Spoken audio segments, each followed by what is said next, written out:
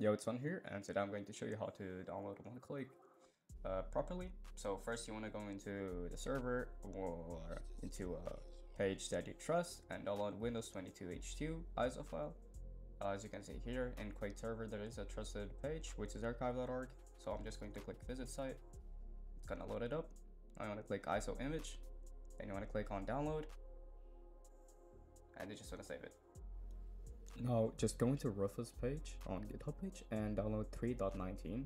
You will need to download this one since it has some options that we will need to bypass Windows 11 requirements, right? So I just want to go into releases, scroll all the way down, go to the second page and click on assets on the arrow and download uh, 3.19. Now I just want to open it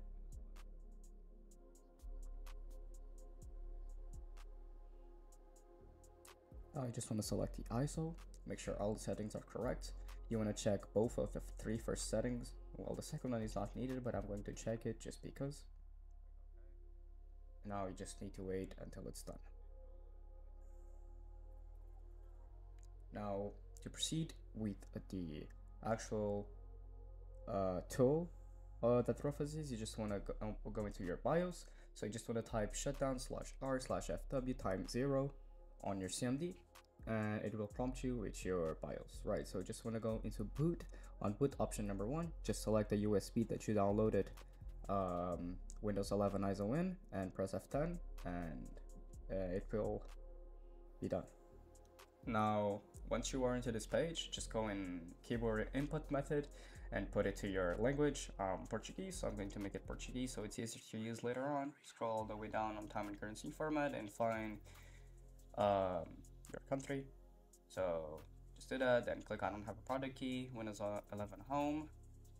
You will be able to turn on a key uh, later on.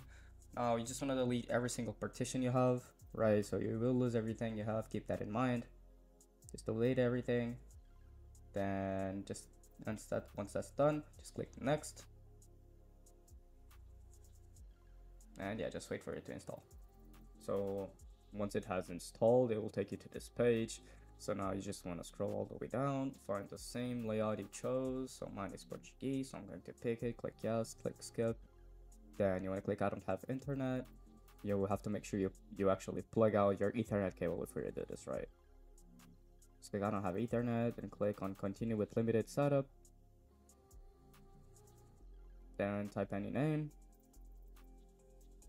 I'm not going to use a password then just click on no or the bottom option on everything from now on.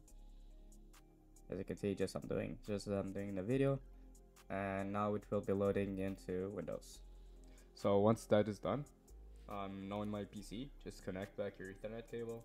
Then you want to right click go to settings. Now go into Windows update.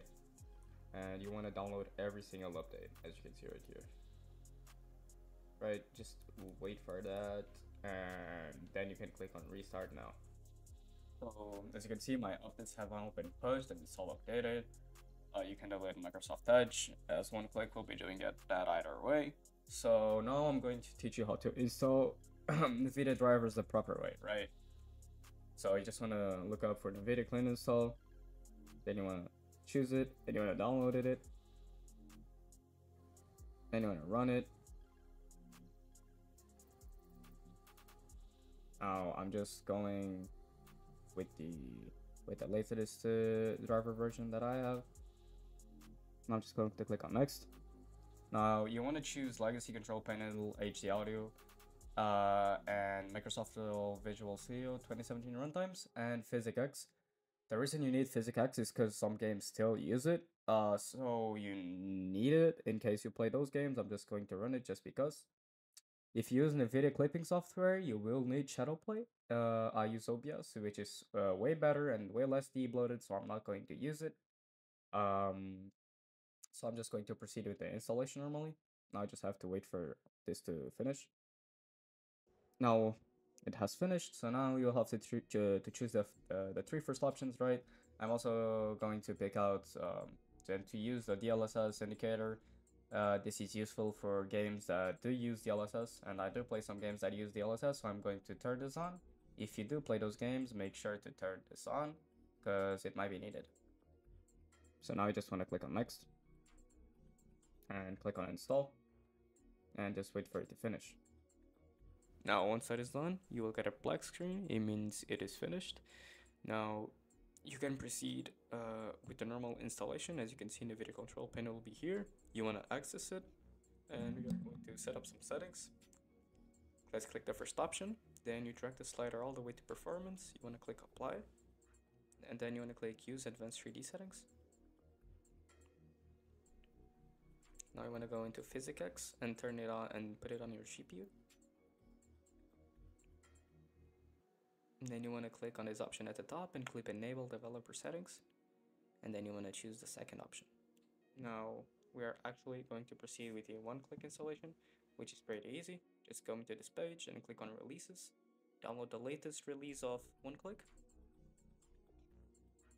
Save it into any folder you decide. Now you just want to right click it and run it as administrator. You want to click on run anyway.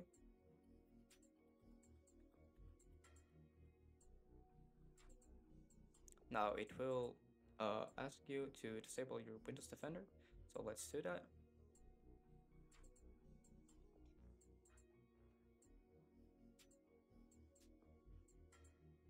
Just disable all the four options. Now you can click on continue, click yes. You have already disabled it, so just press enter. Now you wanna click on the first option to permanently disable it. Now we are going to make a restore point to make sure we can recover our old settings in case anything goes wrong.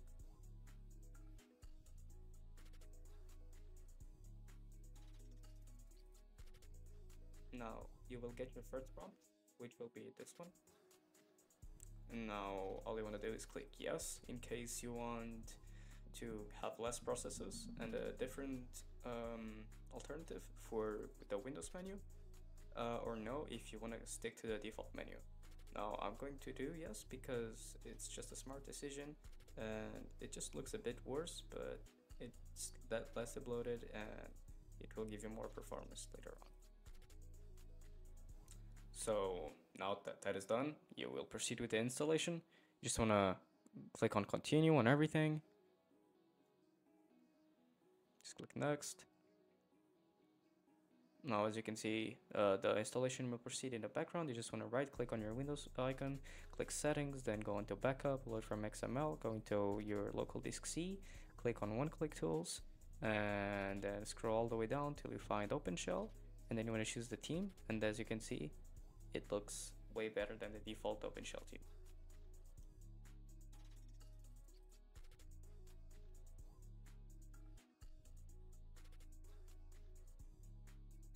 Now we'll proceed with the GPU tweaks. It's pretty self-explanatory. Just click 1 if you have NVIDIA, 2 if you're on AMD, and 3 if you're on Intel. So I have NVIDIA, so I'm going with number 1. Now you, you will be prompted with this question asking if you want to disable telemetry. If you're using Shadowplay, click no. If you're using OBS, click yes. Now you will be prompted with something similar, which is timer res latency. Just click 7 and proceed. Now for here, you just want to click 3, which is the recommended setting. Now here, you want to choose if you want to use these tweaks. I'm going to click yes on all of them. But uh, keep in mind, it might break some stuff. So yeah, take into account what kind of system you have.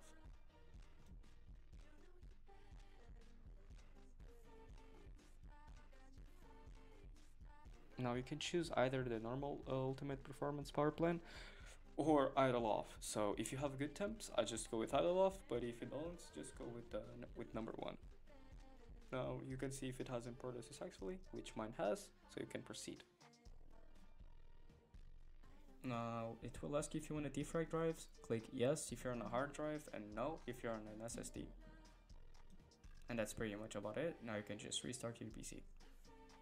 Now as you can see, uh, we have way less processes. We are on 48 processes. We are on 2 gigs of RAM. All this while I have OBS open, so keep in mind it will be lower for you. Uh, there's almost no usage on anything, and everything it feels way more responsive. So yeah, that was the video. Thank you for watching.